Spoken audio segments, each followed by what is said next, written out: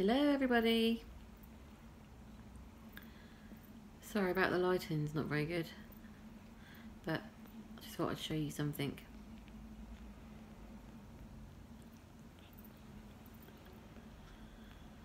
So her name is Adelaide, but that's the name that we got, that the RSPCA called her.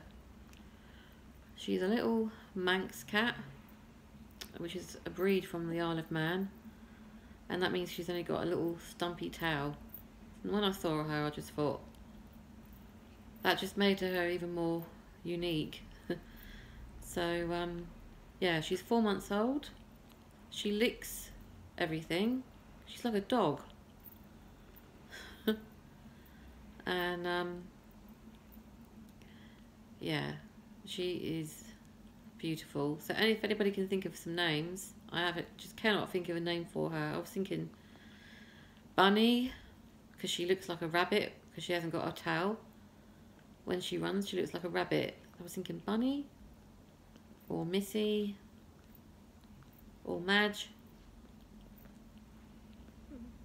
Boys' names are a lot easier. There's so many fun boys' names for cats, but not girls. So yeah, let me know what you think.